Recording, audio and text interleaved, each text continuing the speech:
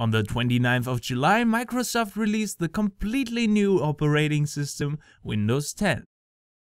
With the update icon on the taskbar that many users got days before, you could reserve yourself Windows 10. If you reserved yourself Windows 10, you will get a notification in the time after the 29th. Alternatively, you could just right click the icon and download it directly.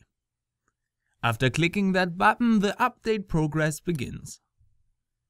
But don't fear for your data, settings or programs, because those function even with Windows 10. More on the basic conditions can be found in the info card. But before you can start, you have to agree to the terms of license two times. At the installation, the PC will have to restart a few times. This can take from 15 minutes up to 4 hours. This, however, is depending on the performance of your computer. It is important that you don't start or restart your PC manually while this process is running. Eventually a window opens in which you have to log into your Microsoft account or just confirm that you are said person. After that, you can decide if you want to use the express settings or customize them.